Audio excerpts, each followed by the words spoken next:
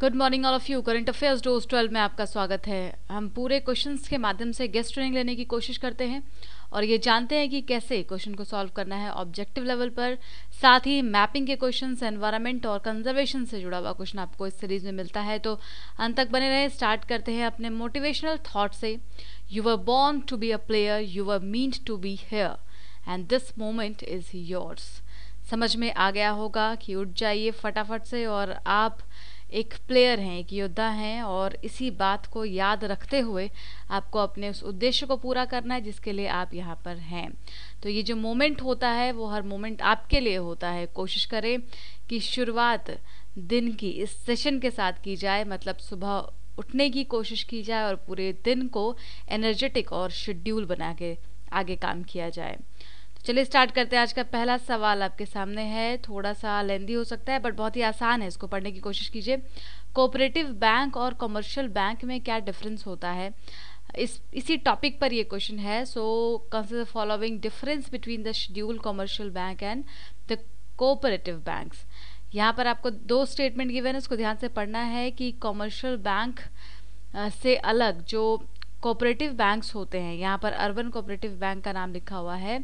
Are the only partly regulated by the RBI जैसे commercial bank को पूरी तरीके से आरबीआई रेगुलेट करती है, वैसे ही यूएसबी को आरबीआई के द्वारा पार्टली रेगुलेट किया जाता है। मतलब पूरी तरीके से रेगुलेट नहीं किया जाता है। तो ये फैक्ट आपको बताना है स्टेटमेंट सही लिखा हुआ है या गलत, ये डिफरेंस है या नहीं है। दूसरा स्टेटमेंट है unlike commercial bank which are structured as joint stock companies वहीं दूसरी तरफ़ जो कोऑपरेटिव बैंक्स होते हैं they are structured at the cooperatives that means जो उनके मेंबर होते हैं, उनके पास काफ़ी ज़्यादा और इवन अनलिमिटेड अमाउंट में लाइबिलिटीज़ होती हैं। तो आपको बताना है, दोनों स्टेटमेंट में कौन सा स्टेटमेंट सही या गलत हो सकता है? इसके लिए आपको कोऑपरेटिव बैंक के बारे में पता होना चाहिए कमर्शियल बैंक के बारे में पता होना चाहिए। और भी ये न्यूज़ में था तो हमने डिस्कशन किया था इस वजह से इस क्वेश्चन को आपको दिया गया है। द आंसर इज़ सी दोनों स्टेटमेंट बिल्कुल सही है यहाँ पर।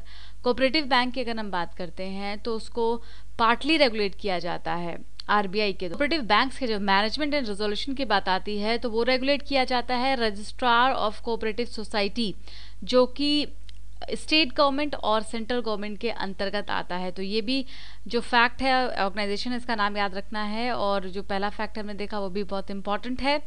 तो आगे बढ़ते हैं, इसको आप ध्यान से एक्सप्रेशन को पढ़ लेंगे और एक जगह पर नोट कर लेंगे। अगला सवाल है नेक्स्ट क्वेश्चन है, क्या port is situated in which of the following country ये पोर्ट कौन सी कंट्री में सिचुएटेड है? सिंगापुर, म्यांमार, कंबोडिया या फिर मालदीव?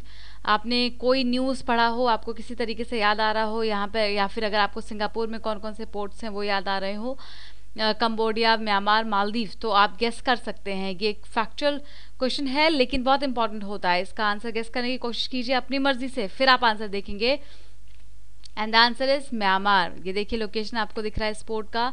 ये हिस्सा यहाँ पर, ये म्यांमार है और यहाँ पर ये क्या पोर्ट है। और इस तरीके से ये पूरा ट्रेवलिंग वे है। और ट्रेड का ये रास्ता बहुत ज़्यादा इंपॉर्टेंट होता है। न्यू ट्रेड रूट को बनाने की कोशिश की जा रही है। इस वजह से ये पूरा ये पोर्ट वगैरह न्यूज़ में आया हुआ है अभी। तो याद रखिएगा इसको, ये लोकेशन बहुत इंपॉर्टेंट है। यहाँ पर ग्वादार पोर्ट और इधर ये छाबार पोर्ट जो कि ईरान में है, यहाँ यहीं पर है हॉर्मूज स्ट्रेट तो ये सारा जो लोकेशन है, बहुत इंपॉर्टेंट है। इसको एक बार रोज़ अपने मैप में देखा करेंगे। आगे बढ़ते हैं, अगला सवाल है मेघदूत ऐप के बारे में। आपने सुना है, इस ऐप का नाम मेघदूत ऐप किस चीज़ से संबंधित है? दो स्टेटमेंट गिवन है यहाँ पर। हो सकता है कि एग्ज़ाम में आपको सिंपल एक फैक्ट बेसिस पर क्वेश्चन पूछा जाएगा। तो मेघदूत ऐप में आपको बताना है, पहला statement it will provide forecast relating to temperature rainfall humidity and wind speed and direction मतलब जो ये साइक्लोनिक एक्टिविटीज़ होती हैं रेनफॉल से लेकर के ओवरऑल स्पीड का क्या डायरेक्शन है, कितनी स्पीड है, विंड की, उन सभी के बारे में ये एप्लीकेशन बताएगा। दूसरा स्टेटमेंट है it has been developed by the Indian meteorological department IMD के द्वारा इसको डेवलप किया गया है और उनके साथ Indian council of agriculture research ने मिलकर के काम किया है। तो क्या ये स्टेटमेंट सही लग रहा है? ये दोनों स्टेटमेंट सही हो सकते हैं? क्या मेघदूत एप्लीकेशन को आईएमडी के साथ आईसीएआर मिलकर बना सकती है? और दूसरा जो सवाल है कि इसका उद्देश्य क्या है कि ये फॉरकास्टिंग प्रोवाइड करेगा रेनफॉल ह्यूमिडिटी की। यहाँ पर आप गेस करें, इसके नाम से रिलेट करने की कोशिश करें, मेघदूत है तो मेघदूत क्यों नाम रखा गया होगा और इसका क्या एम हो सकता है? तो जब आप इसके नाम वगैरह से रिलेट करेंगे तो आप थोड़ा बहुत गेस कर पाएँगे कि सही है या गलत है। नाउ दूसरे स्टेटमेंट में आईएमडी में तो आपको प्रॉब्लम नहीं होगी बट जब हम आईसीएआर की बात करेंगे तो वहाँ पर कन्फ्यूज़न हो जाएगा। लेकिन अगर हम इसके पहले स्टेटमेंट से इसको कंपेयर करते हैं तो ये एक दूसरे को कॉन्ट्राडिक्ट नहीं कर रहा है। जैसे रेनफॉल ह्यूमिडिटी टेम्परेचर वगैरह को अगर नापने की बात है तो ओबियसली ये एग्रीकल्चर से जुड़ा हुआ होगा और इस हिसाब से ये स्टेटमेंट भी सही होना चाहिए। आइए आंसर देख लेते हैं, फटाफट आंसर सी है। मतलब दोनों स्टेटमेंट बिल्कुल सही है यहाँ पर। Ministry of earth science and agriculture के द्वारा लॉन्च किया है ये मोबाइल एप्लीकेशन और ये बिल्कुल उसी तरीके से crop livestock specific weather based चीज़ों को प्रोवाइड करेगा फोरकास्टिंग करेगा और वो भी लोकल लैंग्वेज में। ये फैक्ट आपको याद रखना है कि लोकल लैंग्वेज में ये वेदर फोरकास्टिंग करने में कैपेबल होगा एप्लीकेशन और इसके बहुत सारी और खासियत है 150 डिस्ट्रिक्ट में अलग अलग जगह पर इसको इनेबल किया जाएगा। तो इंपॉर्टेंट ये न्यूज़ भी है इंपॉर्टेंट ये फैक्ट भी है, इसको याद रखना है। आगे बढ़ते हैं, अगला सवाल है इंग्लिश चैनल यानी कि मैपिंग पर बेस्ड इंग्लिश चैनल का आपने नाम सुना है, ये कहाँ पर है? इंग्लिश चैनल कौन कौन से कंट्री यूरोप का मैप याद करने की कोशिश कीजिए और यहाँ पर जो कंट्री का नाम लिखा हुआ है, उसको मेमोराइज कीजिए कि ये कहाँ पर है। फ्रांस डेनमार्क आयरलैंड और जर्मनी इंग्लैंड और इनमें से कौन सी कंट्री है जिसके बीच में इंग्लिश चैनल उपस्थित है? Answer is A that means France England और फ्रांस के बीच में। आप देख सकते हैं यहाँ पर ये इंग्लैंड का हिस्सा है और ये फ्रांस है। ये स्ट्रेट ऑफ़ डोवर है। ये भी आपसे क्वेश्चन बन सकता है और this is called this English channel ठीक है? तो ये याद रखना है फैक्ट कि फ्रांस और इंग्लैंड के बीच में है इंग्लिश चैनल यहीं पर स्ट्रेट ऑफ़ डोवर भी है, जो एग्ज़ाम में आ सकता है। इस तरफ़ ये नॉर्थ सी का हिस्सा है और जितने भी कंट्रीज़ और हैं, देखिए डेनमार्क वगैरह इधर इस तरफ़ है। आगे बढ़ते हैं, अगला सवाल है बॉस्फोरस स्ट्रेट के बारे में। बॉस्फोरस स्ट्रेट कहाँ पर है? कौन सी दो वाटर बॉडी को कनेक्ट करता है? बॉस्फोरस स्ट्रेट काला सागर और मरमरा का सागर, यानी कि Black Sea and Sea of Marmara Sea of Azov या फिर मेडिटेरेनियन सी या फिर भूमध्य सागर अटलांटिक महासागर या Red Sea and Gulf of Aden तो ये चार ऑप्शन है।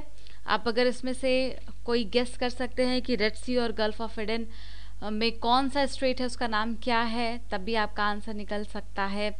मेटेरियन सी अटलांटिक ओशन के इमेज को पिक्चराइज करें। देखिए, वहाँ पर कौन सा स्ट्रेट आपको दिखाई दे रहा है। तो इसका सही आंसर क्या होगा? बॉस्फोर स्ट्रेट कौन से दो वाटर बॉडी को कनेक्ट करता होगा? The answer is Black Sea and Sea of Marmara location आपके सामने है। दिस इज़ द लोकेशन ये ब्लैक सी का हिस्सा है, ये सी ऑफ़ मरमरा है और ये स्टेट ऑफ़ बॉस्फोरस है। तो एक जगह पर इसको लिख लेंगे सारे फैक्चुअल इन्फॉर्मेशन को जोग्राफी में। एग्ज़ाम में अगर आ जाता है तो आपके मार्क्स जो है वो सिक्योर यहाँ पर मैपिंग कर ही रहे हैं, लेकिन इसके साथ साथ आपको अपने मैप में भी जाकर के इसको लोकेट कर देना है कि ये कहाँ पर है, ताकि आप इसको कभी भूले ना। Black Sea and Sea of Marmara याद रखना है। आगे बढ़ते हैं, अगला सवाल। आयुसीएन की रेड लिस्ट में नीलगिरी लंगूर का क्या स्टेटस है? अब इसके लिए आपको पता होना चाहिए नीलगिरी लंगूर के बारे में। अगर आपने न्यूज़ देखा होगा कल का तो आपको पता होगा कि इसका स्टेटस क्या है IUCN की रेड लिस्ट में। देखिए, अभी वाइल्ड वाइल्ड लाइफ वीक चल रहा है और उसमें जितने भी ये एंडेंजर्ड जोन में स्पेसीज है, उनके बारे में बातचीत चल रही उनको कंजर्व करने की कोशिश की जा रही है तो उसी में नीलगिरी लंगूर का भी नाम सामने आया है। क्रिटिकली एंडेंजर्ड है एंडेंजर्ड है, या लीस्ट कंसर्न या फिर वलनरेबल कौन से स्टेटस दी गई है आईयूसीएन की रेड लिस्ट में? नीलगिरी लंगूर को। The answer is D that is vulnerable ये होते हैं नीलगिरी लंगूर और नीलगिरी वेस्टर्न घाट्स में पाए जाते हैं, नीलगिरी हिल्स पर। दुनिया के वर्ल्ड ओल्ड मंकीज में से एक हैं। इनको वलनरेबल का स्टेटस दिया गया है आयुसीएन की रेड लिस्ट से। इन फर की वजह से इनका काफ़ी खतरा होता है और इनकी पोचिंग बहुत ज़्यादा होती है। तो ये इंपॉर्टेंट इन्फॉर्मेशन है, एक स्पेसीज का भी हमने यहाँ पर इंक्लूड कर लिया है और ऐसे ही हम लोग आगे भी इंपॉर्टेंट क्वेश्चंस को देखते रहेंगे। ये इन्फॉर्मेशन इंस्टीट्यूट के बारे में है। आपको अगर इसमें क्लासरूम प्रोग्राम या पर्सनल गाइडेंस के प्रोग्राम में आप इंटरेस्टेड हो, आपको ज़रूरत हो जिसमें कि आप देख सकते हैं क्या क्या चीज़ें मौजूद होती हैं। टेस्ट सीरीज़ अभी स्टार्ट होने वाला है मेंस के लिए काम आपका चल ही रहा है। जो भी लोग नए सिरे से काम स्टार्ट करना चाहते हैं, वो बिल्कुल अप्रोच कर सकते हैं। नया सेशन अभी जस्ट स्टार्ट हुआ है ट्वेंटी के लिए। तो आपको उसमें बहुत अच्छे से गाइड किया जा रहा है और प्रॉपर तरीके से ग्रुप मिलता है जहाँ पर आप बहुत अच्छे से एक्टिविटीज़ वगैरह कर पाते हैं। साथ में ही पर्सनल गाइडेंस की बात करें तो उसमें स्पेशलाइज्ड कोच रहते हैं जो आपको काफ़ी हेल्प करते हैं पूरे थ्रू आउट प्रिपरेशन में। तो इसके लिए भी आप डिटेल्स ले सकते हैं और हाँ इस सेशन में ज़रूर बने रहें। And thank you so much इसको सब्सक्राइब कर ले। अगर अभी तक आपने नहीं किया है शेयर ज़रूर करें और बेल आइकन को प्रेस करें ताकि नोटिफिकेशन सही